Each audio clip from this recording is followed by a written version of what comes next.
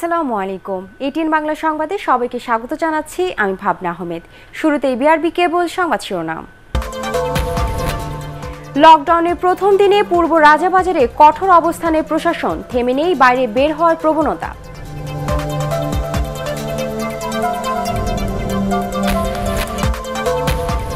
দেশের বিভিন্ন জেলায় করোনা ভাইরাসে মারা গেছে অন্তত সাতজন। বান্দরবানের দুই উপজেলা লকডাউন।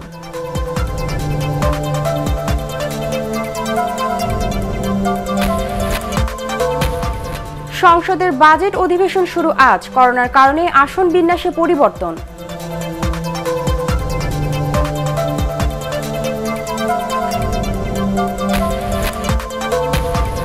এবং আসছে পাঁচ লাখ আটষট্টি হাজার কোটি টাকার বাজেট। গুরুত্ব পাবে স্বাস্থ্য, সামাজিক নিরাপত্তা ও কৃষিখাত।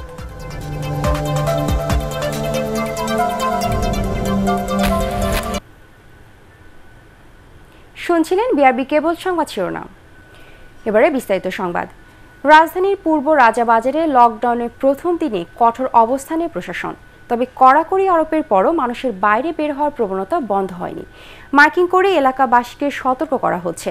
এই নিষেধাজ্ঞা না মানলে শাস্তিমূলক ব্যবস্থা নেওয়া হবে বলে জানিয়েছেন দায়িত্বরত কর্মকর্তারা। আরও জানাচ্ছেন শফিকুল ইসলাম শামীম। প্রথমবারের মতো লকডাউন করা হয়েছে রাজধানীর পূর্ব রাজাবাজার। ঘন বসতিপূর্ণ এই এলাকায় করোনা আক্রান্ত রোগীর সংখ্যা বেড়ে যাওয়ায় এমন সিদ্ধান্ত। প্রথম দিনে বিভিন্ন খাদ্য সরবরাহকারী প্রতিষ্ঠানকে ভ্যানে করে নিত্য প্রয়োজনীয় পণ্য ভিতরে নেয়ার সুযোগ দেওয়া হয়েছে। পাশাপাশি অসুস্থ রোগী এবং স্বাস্থ্যসেবার সাথে জড়িতরাও আসা যাওয়ার ক্ষেত্রে ছাড় পাচ্ছেন। এছাড়া কাউকে ঘর থেকে বের হতে দেয়া হচ্ছে না। লকডাউন যেভাবে কার্যকরী হয়েছে এতে ভিতরে কোনো দোকানপাট খোলা নাই। ভিতরে ম্যাজিস্ট্রেট স্যার আছে তারপরও যদি কেউ একান্ত যদি কোনো ইয়ে করে তার জন্য শাস্তির ব্যবস্থা করা আছে। অনেকেই নিষেধাজ্ঞা অমান্য করে মহল্লার প্রবেশ পথগুলোতে ভিড় করছেন। দেশের বাড়ি থেকে আসার পর এখন দেখি লকডাউন কাগজপাতি তো নিতে পারতেছি না। এদিকে পূর্ব রাজাবাজারের বিভিন্ন সড়কের সাথে সংযুক্ত গ্রিন রোড এলাকার কয়েকটি গলি লকডাউনের আওতায় আনায় হতাশ এলাকাবাসী। যে এফেক্টেড আপনারা যে রেড জোন বলতেছেন ওইটা হলো ওই রুটটাতে রাজাবাজার মেইন যে মসজিদের যে রুটটা ওইটা। কিন্তু এটা তো গ্রিন রুটের রুট এই এলাকাতে কোনো সমস্যা নেই। পূর্ব রাজাবাজারের লকডাউন পুরোপুরি বাস্তবায়ন করতে পারলে অন্য ঝুঁকিপূর্ণ এলাকার ক্ষেত্রেও তা প্রয়োগ করা সহজ হবে বলে মনে করছেন সংশ্লিষ্টরা। করোনা ভাইরাসের বিস্তার রোধে স্বাস্থ্য মন্ত্রণালয় কর্তৃক পূর্ব রাজাবাজারকে লকডাউন ঘোষণা করা হলেও এখনও মানুষজন বাইরে বের করতে চাচ্ছেন আবার অনেকে ভেতরে প্রবেশের চেষ্টা করছেন। এ কারণে আইনশৃঙ্খলা রক্ষাকারীর বাহিনী সদস্যদের বাড়তি ঝামেলা পোহাতে হচ্ছে। তাই করোনা ভাইরাসের সংক্রমণ রোধে সাধারণ মানুষকে আরও সচেতন হতে হবে বলে মনে করছেন সংশ্লিষ্টরা। শফিকুল ইসলাম শামীম, এটিএন বাংলা, ঢাকা। দেশের বিভিন্ন জেলায় করোনা ভাইরাসে আক্রান্ত অন্তত সাতজনের মৃত্যুর খবর পাওয়া গেছে। বরিশাল, সিলেট এবং চট্টগ্রাম করোনার হটস্পটে পরিণত হয়েছে। সংক্রমণ বাড়ায় রেড জোন হিসেবে বান্দরবান, পৌর এলাকা, সদর এবং রুমা উপজেলাকে লকডাউন করা হয়েছে। প্রতিনিধি তথ্যচিত্রের ভিত্তিতে রিপোর্ট করেছেন কামরুজ্জামান রাজীব। নারায়ণগঞ্জে এখনও বাড়ছে মৃত্যু আর আক্রান্তের সংখ্যা। গত চব্বিশ ঘন্টায় করোনা ভাইরাসে আক্রান্ত তিনজন মারা গেছেন, শনাক্ত আরও ছেষট্টি জন। জেলায় এ পর্যন্ত আক্রান্তের সংখ্যা তিন হাজার আটশো ষোলো জন। মৃত্যু হয়েছে তিরানব্বই জনের। নগরের জামতলা, আমলাপাড়া এবং ফতুল্লার কুতুবপুরের রূপায়ণ সিটির লকডাউন বুধবার সকাল থেকে প্রত্যাহার করা হয়েছে। বরিশাল শেরেবাংলা মেডিকেল কলেজ হাসপাতালে করোনা আক্রান্ত দুজনের মৃত্যু হয়েছে। বিভাগের ছয় জেলায় নতুন আক্রান্ত হয়েছেন তিপ্পান্ন জন। নওগাঁয় করোনা আক্রান্ত তিপ্পান্ন বছর বয়সী এক ব্যক্তির মৃত্যু হয়েছে। জেলায় মোট আক্রান্তের সংখ্যা একশো তেষট্টি জন। সিলেটে করোনায় আক্রান্ত এক নারী মারা গেছেন। তিনি জকিগঞ্জের বাসিন্দা। এ নিয়ে সিলেটে মৃতের সংখ্যা আটত্রিশ। নতুন পঞ্চাশ জন সহ জেলায় মোট আক্রান্তের সংখ্যা প্রায় এক হাজার। চট্টগ্রামে নতুন করে আরও একশো তেরো জনের করোনা শনাক্ত হয়েছে। এ নিয়ে সেখানে মোট করোনা আক্রান্তের সংখ্যা দাঁড়াল চার হাজার দুশো তিরাশি জন। মারা গেছেন একশো জন। বগুড়ায় আরও সাতাত্তর জনের করোনা শনাক্ত হয়েছে, মোট আক্রান্ত নয়শো পঞ্চান্ন। রংপুর তাজহাট থানার ওসি সহ নতুন একুশ জনের করোনা শনাক্ত হয়েছে। কুষ্টিয়ায় গত চব্বিশ ঘন্টায় অতিরিক্ত জেলা প্রশাসক সিরাজুল ইসলাম এবং সাংবাদিক তারিকুল ইসলাম সহ পনেরো জন করোনা আক্রান্ত হয়েছেন। শেরপুরে নতুন পনেরো জন করোনা রোগী শনাক্ত হয়েছে। ব্রাহ্মণবাড়িয়ায় গত চব্বিশ ঘন্টায় উনত্রিশ জন করোনা শনাক্ত হয়েছেন। সিরাজগঞ্জে আক্রান্ত হয়েছেন আরও ষোলো জন। এদিকে করোনা সংক্রমণ বেড়ে যাওয়ায় বান্দরবানের পৌর এলাকা সদর ও রুমা উপজেলা লকডাউন করেছে প্রশাসন। বুধবার দুপুর বারোটা থেকে এই লকডাউন কার্যকর হচ্ছে। কামরুজ্জামান রাজীব এটিএন বাংলা। একাদশ জাতীয় সংসদের বাজেট অধিবেশন শুরু হচ্ছে আজ। সংসদে বাজেট পেশের ইতিহাসে এবার সম্পূর্ণ ভিন্ন পরিস্থিতিতে বর্তমান জাতীয় সংসদের অষ্টম অধিবেশন শুরু হচ্ছে। বিকেল পাঁচটায় স্পিকার ডক্টর শিরিন শিরিন শারমিন চৌধুরী সভাপতিত্বে অধিবেশন শুরু হবে।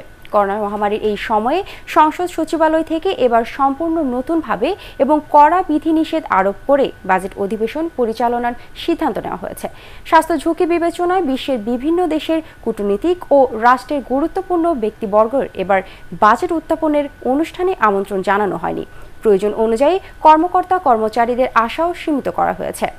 আসন বিন্যাসও পরিবর্তন আনা হয়েছে সংসদে। এবারে বাজেট অধিবেশন খুবই সংক্ষিপ্ত আকারে। আগামীকাল বিকেল তিনটায় দু হাজার বিশ একুশ অর্থ বছরের বাজেট উত্থাপন করবেন অর্থমন্ত্রী আহবুবু মুস্তফা কামাল। সামাজিক দূরত্ব বজায় রেখে আমরা অধিবেশনের কর্মকাণ্ড পরিচালনা করব এবং আমরা প্রতিদিন আশি থেকে নব্বই জন সংসদ সদস্যকে আহ্বান জানাব সংসদ অধিবেশনে যোগদানের জন্য। আমন্ত্রণ পত্র ইতিমধ্যে আমরা পাঠিয়েছি এবং আমরা সামাজিক দূরত্ব বজায় রেখে আসন পুনর্বিন্যাস করব।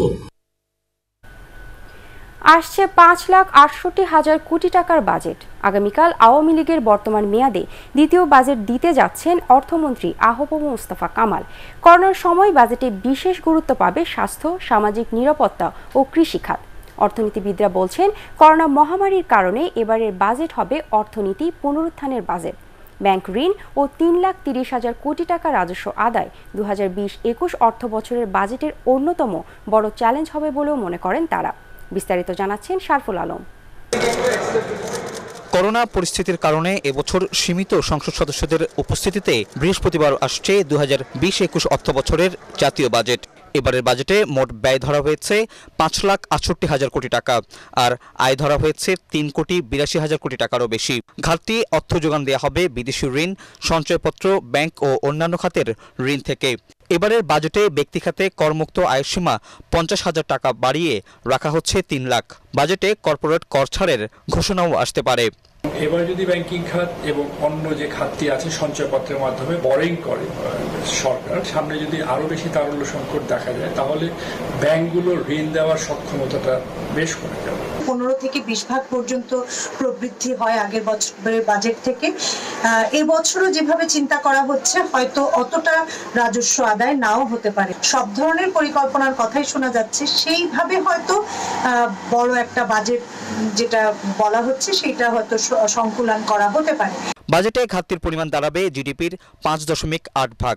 দু হাজার বিশ একুশ অর্থ বছরের বাজেটের আট দশমিক দুই শতাংশ জিডিপি প্রবৃদ্ধি ও পাঁচ দশমিক আট শতাংশ মূল্যস্ফীতির লক্ষ্য ঠিক করতে যাচ্ছেন অর্থমন্ত্রী।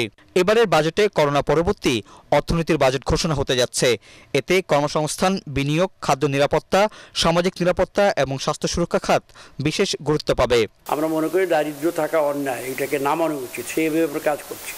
তো এই কাজটাকে করার জন্য আমরা যেটা করছি এই বাজেটে আমাদের সোশ্যাল সেফটি নেট যে প্রোগ্রামটা ছিল, এইটার প্রসারতা বহু, বেশ বৃদ্ধি পাবে এবার করোনার কারণে এবার বাজেট ঘোষণায় বিশেষ কোনো আয়োজন নেই। বলা হচ্ছে অর্থ বছরের কাজের ধারাবাহিকতা রাখতে নিয়ম রক্ষার অধিবেশন হবে এটি। করোনা মহামারীতে ক্ষতিগ্রস্ত হয়েছে দেশের অর্থনীতি। এবারের বাজেটে দেশের অর্থনীতিকে ঘুরে দাঁড়ানোর দিক নির্দেশনা থাকবে বলে মনে করছেন অর্থনীতিবিদরা। তারা বলছেন, বাজেটে যে বরাদ্দ দেওয়া হোক, তা বাস্তবায়ন করাই হবে সবচেয়ে বড় challenge. Sharful Alam, ATN Bangla, Dhaka. BNP budget দেওয়ার আগেই সমালোচনা করে আবারও নিজেদের রাজনৈতিক দেউলিয়াত্বের প্রমাণ দিয়েছে বলে মন্তব্য করেছেন তথ্যমন্ত্রী ডক্টর হাসান মাহমুদ। সচিবালয়ে এক ব্রিফিংয়ে তিনি এ মন্তব্য করেন। তথ্যমন্ত্রী বলেন, সরকার বরাবরের মতো জনকল্যাণে বাজেট দিয়ে তা বাস্তবায়ন করবে।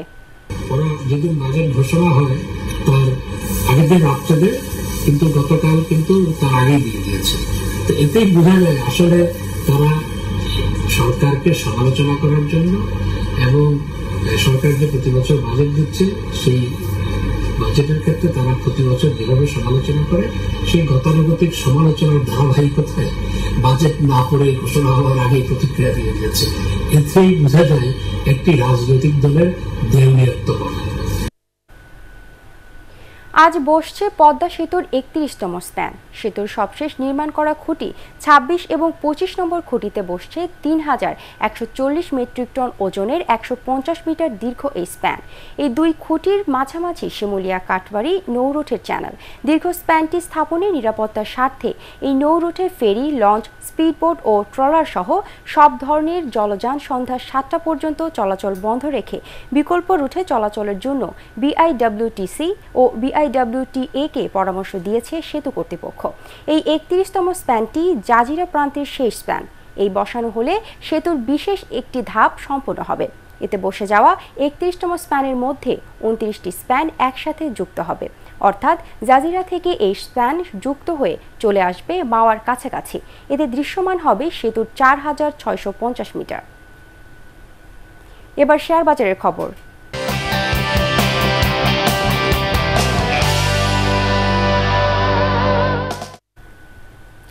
আসন্ন বাজেটে পুঁজিবাজারে তালিকাভুক্ত কোম্পানির কর হার পঁচিশ শতাংশ থেকে কমিয়ে বিশ শতাংশ করার দাবি করেছেন চট্টগ্রাম স্টক এক্সচেঞ্জের চেয়ারম্যান আসিফ ইব্রাহিম। সিএসই থেকে পাঠানো এক সংবাদ বিজ্ঞপ্তিতে বলা হয়, তালিকাভুক্ত কোম্পানির কর হার কমানো হলে তালিকাভুক্ত কোম্পানি শেয়ার বাজারে আসতে অনুপ্রাণিত হবে। পাশাপাশি ব্যক্তি শ্রেণির করদাতাদের করমুক্ত লভ্যাংশের সীমা পঞ্চাশ হাজার থেকে বাড়িয়ে এক লাখ করার দাবি করেন তিনি।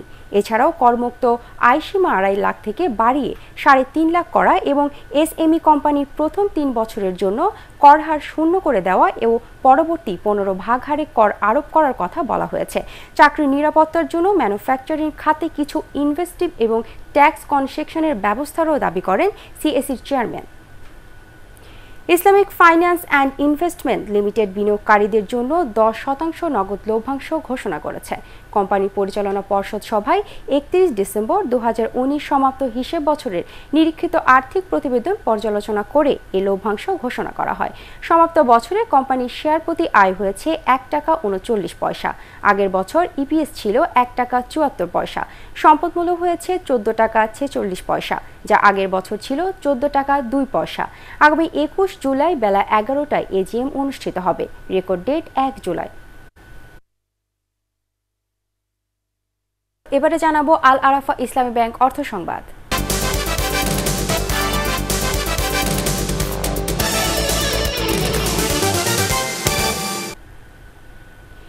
দেশে দেড় কোটিরও বেশি প্রতিবন্ধী মানুষের সেবা এবং উন্নয়নে আলাদা মন্ত্রণালয় গঠনের দাবি জানিয়েছেন এটিন বাংলার চেয়ারম্যান ডক্টর মাহফুজুর রহমান।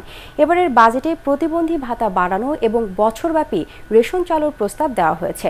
প্রস্তাবিত বাজেটে এসব বিবেচনার আশ্বাস দিয়েছেন পরিকল্পনা মন্ত্রী এম এ মান্নান। মঙ্গলবার এটিএন বাংলায় সরাসরি সম্প্রচারিত প্রতিবন্ধীদের প্রাক বাজেট আলোচনায় এসব কথা উঠে আসে।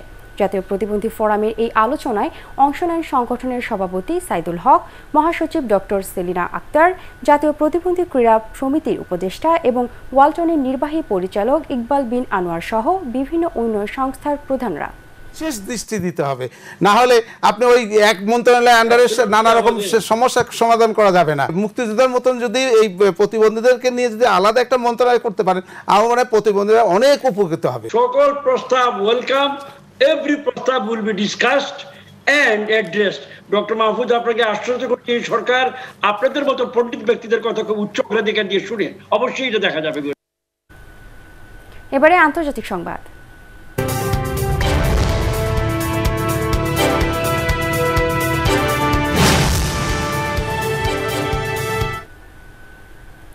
করোনা ভাইরাসে আক্রান্ত ও মৃতের সংখ্যার বিশ্বের এখনও শীর্ষে রয়েছে যুক্তরাষ্ট্র।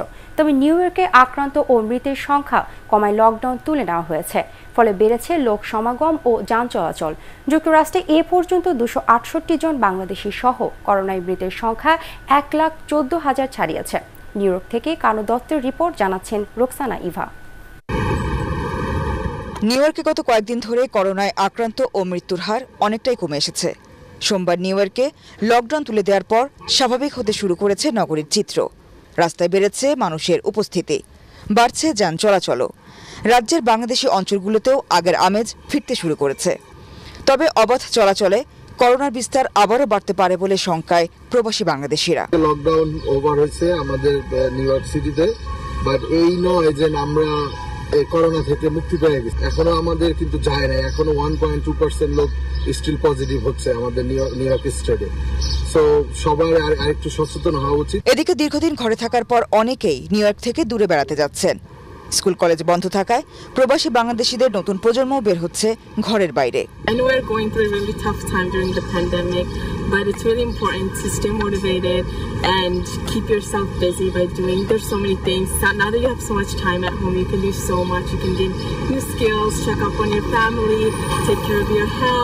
যুক্তরাষ্ট্রে করোনা হটস্পট নিউ ইয়র্কে এ পর্যন্ত চার লাখেরও বেশি মানুষ আক্রান্ত হয়েছেন। মৃতের সংখ্যা ছাড়িয়েছে ত্রিশ হাজার। রোকসানা ইভা এটিএন বাংলা। এবারে স্ট্যান্ডার্ড ব্যাংক বাণিজ্য সংবাদ।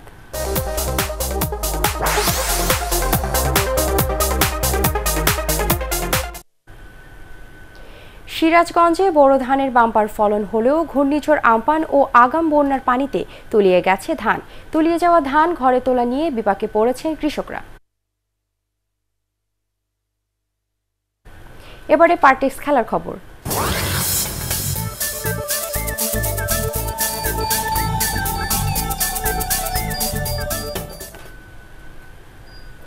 করোনাকালীন সময়ে ক্রিকেটের পাঁচটি নিয়ম পরিবর্তন করেছে আইসিসি। খেলার সময় কোনো ক্রিকেটারের করোনার উপসর্গ দেখা দিলে বদলি আরেকজনকে খেলানো যাবে। তবে এই নিয়ম শুধুমাত্র টেস্ট ম্যাচের জন্য ওয়ানডে এবং টি টোয়েন্টিতে করোনা সাবস্টিটিউট প্রযোজ্য হবে না। বলে উজ্জ্বলতা বাড়াতে লালা ব্যবহার নিষিদ্ধ করা হয়েছে। খেলা পরিচালনা করবেন স্থানীয় আম্পায়াররা। রিভিউ আরেকটি করে বাড়ানো হবে। আর পঞ্চম নিয়মটি আর্থিক লাভের জন্য। জার্সিতে বাড়তি লোগো ব্যবহারের সুযোগ পাচ্ছে বোর্ডগুলো। শেষ করার আগে বিআরবি কেবল সংবাদ শিরোনাম আরেকবার। লকডাউনের প্রথম দিনে পূর্ব রাজাবাজারে কঠোর অবস্থানের প্রশাসন, থেমে নেই বাইরের বের হওয়ার প্রবণতা।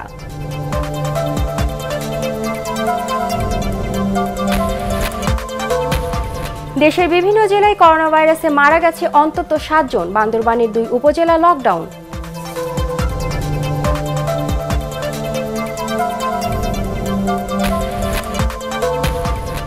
সংসদের বাজেট অধিবেশন শুরু আজ। করোনার কারণে আসন বিন্যাসে পরিবর্তন।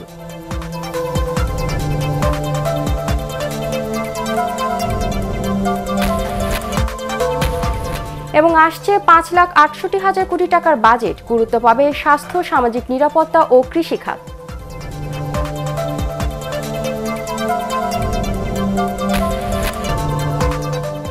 দর্শক, পরবর্তী সংবাদ দেখার আমন্ত্রণ জানিয়ে এখনকার মতো শেষ করছি। সবাই ঘরে থাকুন, নিরাপদে থাকুন। এছাড়া এটিএন বাংলার সংবাদ ইউটিউবে দেখতে ব্রাউজ করুন, YouTube slash ATN Bangla news ধন্যবাদ সবাইকে।